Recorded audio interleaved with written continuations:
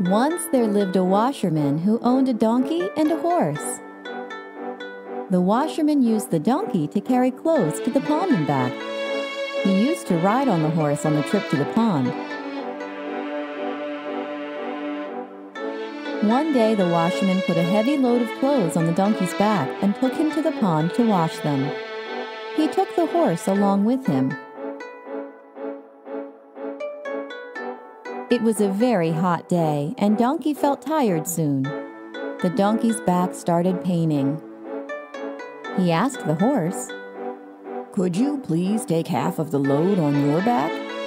The horse replied impolitely, Why should I carry your load? I will only carry our master. They continued walking, and the day got hotter. The donkey was exhausted he could not walk on any longer and collapsed on the ground. The washerman immediately removed the load of clothes from the donkey's back.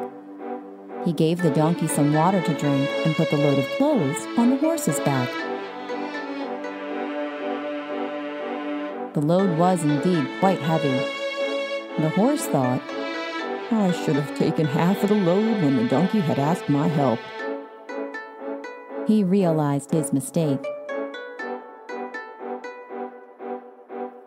Moral of the story? Always be friendly to others and help them.